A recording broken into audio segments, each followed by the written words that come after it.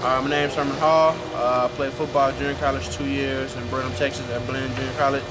Transferred here in 2008. Uh, played offensive guard and center. Uh, right now, I'm just waiting on that call. I've been working out six days a week since January, and I've been working working with Brian for the past couple months. You know, had me in the pool, working real hard.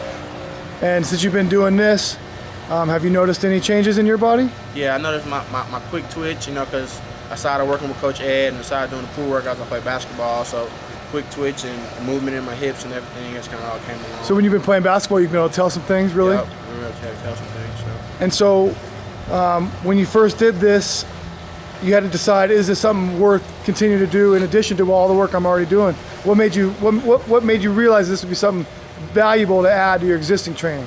Uh, when I first heard about it, I heard about it through Corey, through word of mouth. I was talking in the locker room one day, and uh, I just said I'll come out and try because I'm always up to you know getting better. So when I came out here, uh, I love being in the water anyways. Right. So when I came out here, you know, I just I just fell in love with it just because it's natural water resistance and it, it takes the stress off my knees and you know the stress off my back and everything. So you know it was just perfect for me.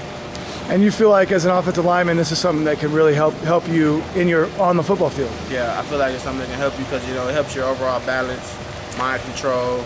You know, you got to focus in on a lot of things that, that, that, that you have to do in the game. Yeah. So, you know, it helps out. So this is something that you definitely want to try to continue to do. Yes, some more.